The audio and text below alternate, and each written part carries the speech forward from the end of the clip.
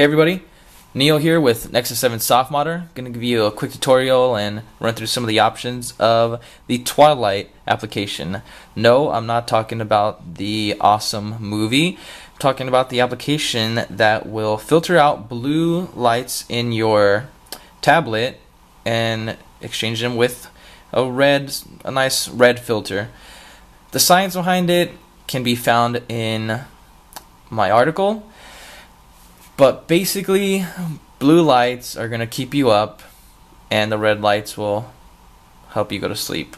So if you're staying up an hour later than you want to because you're using your tablet late at night to read or just because you want to fidget with it, this will help you out because those blue lights are keeping you up. So look for Twilight, look for this because that's the icon.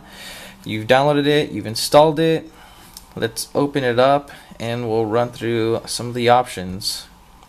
Alright, if you click how it works, this will also explain how it works, which is pretty informative.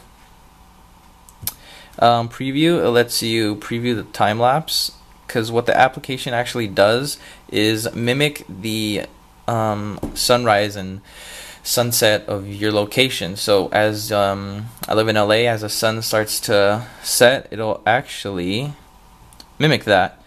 Okay, um, color temperature.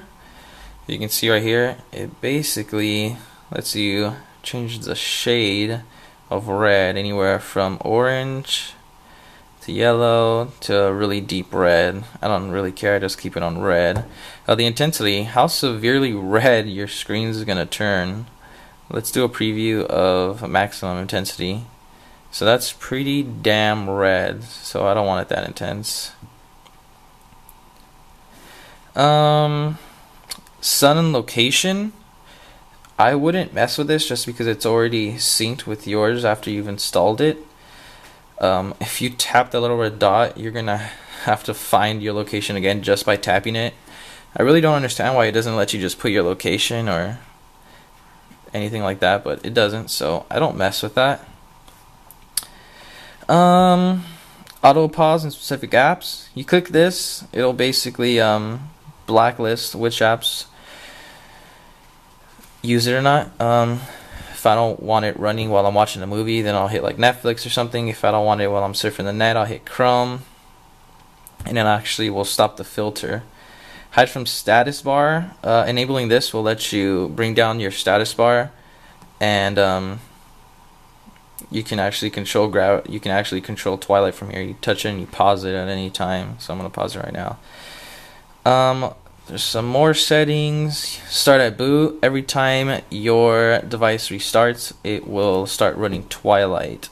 There are some pro settings. I wouldn't recommend paying for them just because it doesn't make a difference really unless you want to donate. You can use custom times, custom sunrise, custom sunset, and you can change the, like the time lapse of how long it takes to reach the most severe red or the deepest sunset, I guess. Um, it's an awesome app, I guess, if you're having troubles falling asleep on your device. Um, I liked it. I hope you guys enjoy it. If you don't, you can always just pause it from your notification bar. Leave a comment, and don't forget to subscribe. Thanks.